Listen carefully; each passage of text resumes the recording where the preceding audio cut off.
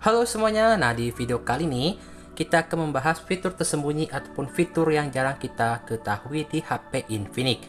Nah, di sini saya menggunakan HP Infinix seri 30 series. Buat teman-teman yang menggunakan HP Infinix dengan seri lain, silahkan dicoba saja kemungkinan caranya sama aja ya. Oke. Nah, di sini teman-teman coba saja. Nah, di video kali ini ada beberapa uh, fitur tersembunyi ataupun fitur yang jarang kita ketahui di HP Infinix untuk uh, wajib teman-teman coba ya. Nah, di fitur yang pertama ya teman-teman ya. Sebentar dulu guys, ada yang ketinggalan.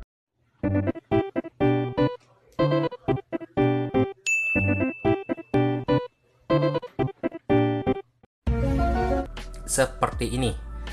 Nah, di saat kita merekam video ataupun foto ya teman-teman, eh sorry video, teman-teman itu bisa menggunakan dua kamera secara bersamaan. Nah, jadi caranya kayak gini. Saya contohkan kita buka kamera. Oh, sebentar guys ya. Nah, di saat kita membuka kamera seperti ini.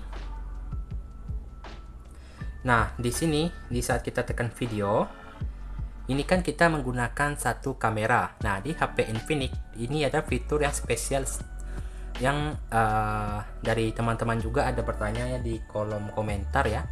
Nah, di sini kita bisa membuat dia uh, video uh, sorry, membuat dia kamera depan dan kamera belakang itu secara bersamaan uh, menghadap ke kita. Nah, jadi caranya teman-teman ya. Uh, kita buka dulu di sini ya. Sorry. Ini kalau kita geser nanti ada yang namanya video ganda. Nah, bisa teman-teman lihat. Ini adalah uh, kamera depannya Nah, di sini adalah kamera belakangnya. Nah, jadi di sini teman-teman bisa membuka uh, dua kamera secara bersamaan seperti ini. Jadi kalau misalnya di HP teman-teman itu tidak ada di sini video ganda, teman-teman bisa aktifkan terlebih dahulu. Oke, nah jadi untuk cara aktifkannya seperti ini ya. Di sini kita buka pengaturan. Nah, kemudian di sini kita pergi ke sini ya. Kita cari di sini namanya ini ya. Tata ulang mode. Kita tekan. Di sini teman-teman cari video ganda. Nah, kalau misalnya dia ada berada di bawah, itu caranya kita kayak gini aja. Kita tekan lama. Nah, kemudian kita geser. Nah, dikarenakan saya sudah menaruhnya di atas ya, jadi tidak perlu lagi. Oke, kalau sudah ada.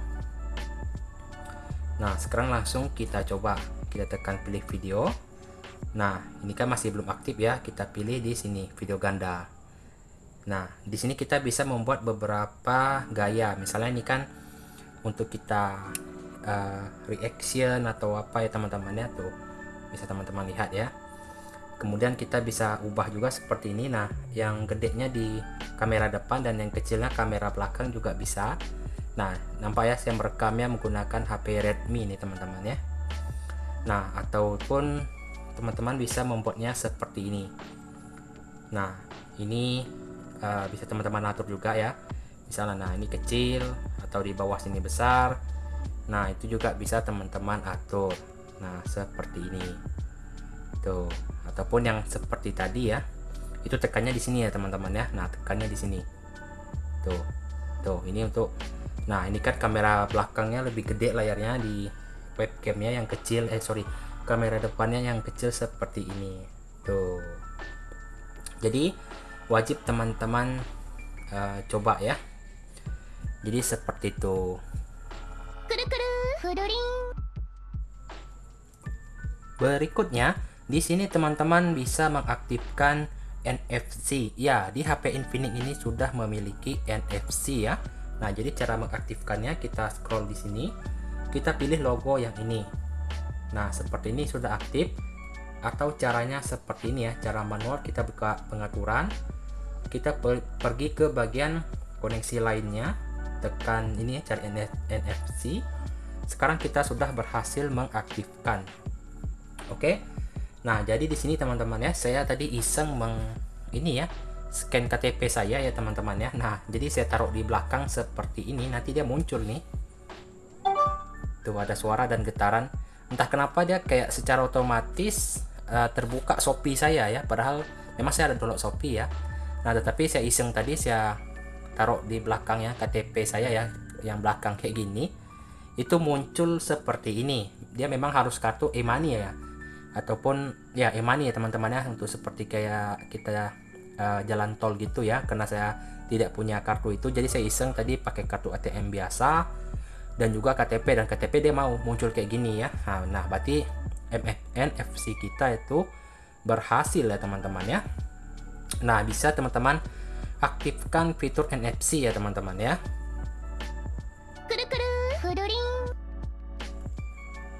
di sini kita bisa merekam video 2K uh, 30 fps ya teman-teman ya. Nah di sini ya memang di HP Infinix sudah memiliki fitur tersebut. Jadi mungkin buat teman-teman yang belum tahu ya atau di HP Infinix teman-teman mungkin tidak ada promosi yang seperti itu yang untuk menunjukkan fitur merekam video 2K atau 2K 30 fps nah teman-teman bisa cobanya langsung. Oke nah di sini kita buka dulu di bagian kamera ya Nah di sini kita pergi ke video. Nah untuk mengaktifkan 2K uh, 30 fps untuk hasil rekaman kita tekan di sini. Di atas ini ya teman-teman ya. Di sini ada pilih ada beberapa pilihan. Kemudian di sini ada di sini ya tulis 2K 3, uh, 30 fps dan kameranya kayak gini ya. Uh, menurut saya untuk kamera yang Infinix ini bagus sih untuk di kelas harganya bagus ya teman-temannya. Memang dia kalau di malam hari itu pasti ya kameranya ya nggak sebagus iPhone ya ataupun kelas flagship di atasnya. Tapi ini sudah cukup mumpuni dan bisa digunakan ya teman-teman ya. Jadi di sini uh, fiturnya seperti itu. Mungkin teman-teman yang belum tahu ataupun teman-teman yang sudah tahu ya. Oke. Okay?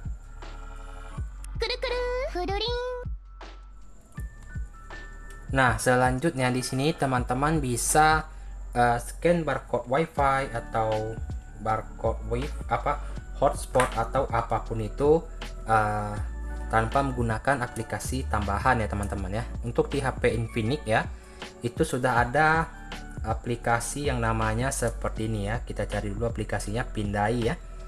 Nah aplikasi ini biasa uh, di HP Xiaomi memang sudah ada tetapi ternyata di HP Infinix juga sudah ada pembawaan. Jadi kita tidak perlu lagi uh, menginstalnya secara uh, dari Play Store gitu ya kan atau aplikasi lain karena ini sudah pembawa pembawaan dari HP jadi gunanya aplikasi ini ya kita bisa scan uh, barcode WiFi ataupun uh, kode QR WiFi gitu ya teman-teman ya. Nah sebagai contoh kayak gini kita akan coba uh, scan barcode uh, WiFi ya kan? Nah kayak gini. Tuh sekarang kita sudah terscan. Tinggal dia menghubungkan. Jadi seperti itu teman-teman. Ya untuk di ini sudah ada ya teman-teman ya. Mungkin teman-teman uh, tidak perasan ya aplikasi ini ada di HP Infinix-nya. Nah tetapi itu tetap ada. Oke silahkan teman-teman coba aja atau cari di HP Infinix-nya apakah sudah ada atau enggak. Menurut saya di uh, ini sangat membantu ya untuk fitur aplikasi yang seperti itu oke silahkan dicoba Nah, di selanjutnya di sini kita bisa menggunakan seperti ini teman-teman. Di saat kita uh, seperti ini ya kita akan foto, teman-teman bisa menggunakan uh, sidik jari sebagai rana. Nah, biasanya kan di sini kalau tombol volume Nah, itu juga bisa ya, tetapi kita juga bisa menggunakan sidik jari yang di samping HP Infinix ini untuk mengambil uh, foto ataupun rana.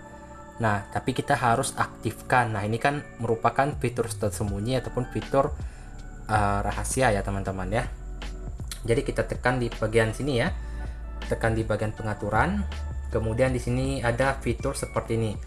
Sidik jari sebagai rana. Sekarang kita aktifkan nah sekarang kita akan coba ya. Nah di sini kita buka dulu uh, kamera. Nah sekarang kita akan coba foto ya teman-teman ya.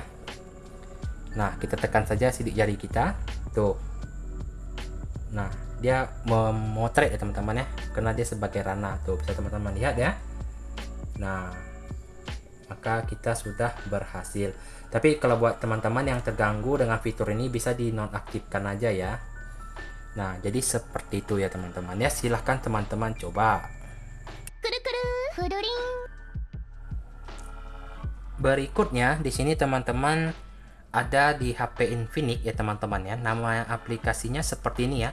Ini tidak saya install dari dari Play Store. Memang sudah ada pembawaan HP Infinix tetapi nanti teman-teman coba cari aja di HP Infinix teman-teman ada ataupun tidak uh, aplikasinya seperti ini ya kita cari dulu nah ini aplikasinya Phone Master apabila kita buka nah nanti dia akan memunculkan seperti ini nah di sini kita bisa uh, untuk membersihkan chance ataupun sampah ya teman-teman ya Nah, di sini selain itu fiturnya juga sangat banyak ya di dalam Phone Master.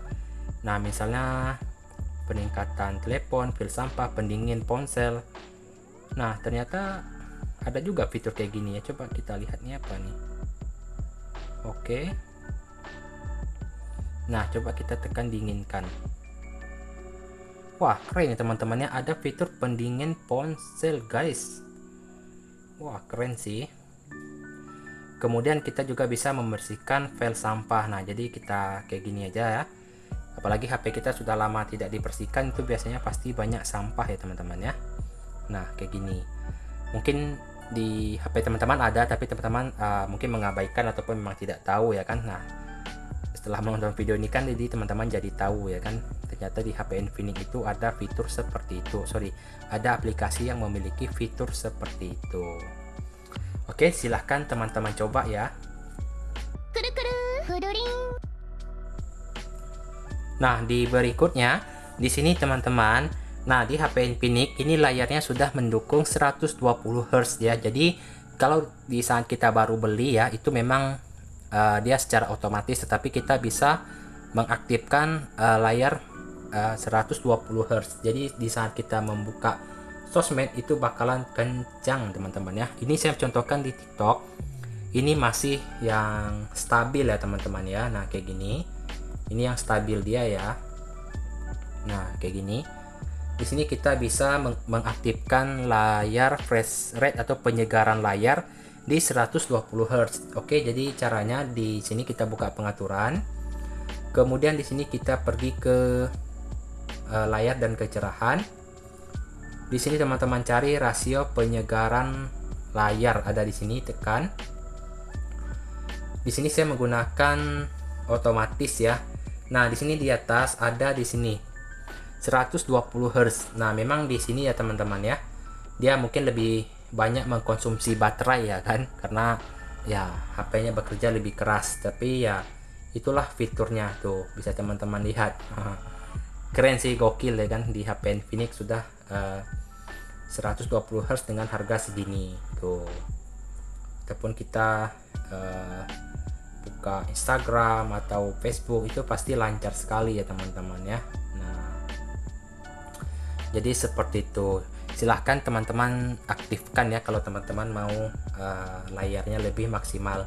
Tetapi uh, buat teman-teman yang mungkin otomatis sudah cukup ya kita pilih saja otomatis karena itu bisa menghemat baterai ya. Kita cari rasio penyegaran layar kita pilih lagi ke otomatis. Oke silahkan teman-teman coba saja.